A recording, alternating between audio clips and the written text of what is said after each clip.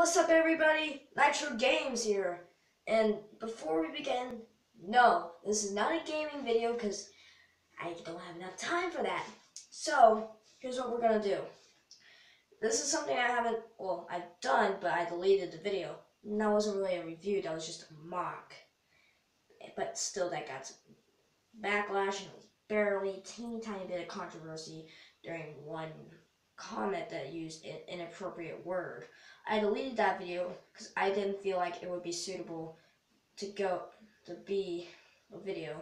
And also, yes, there's there's more dislikes than I ever thought.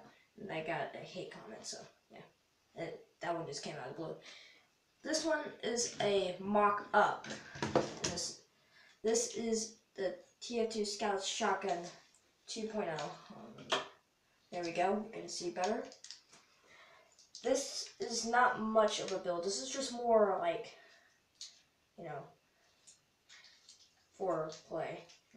As a pump action feature,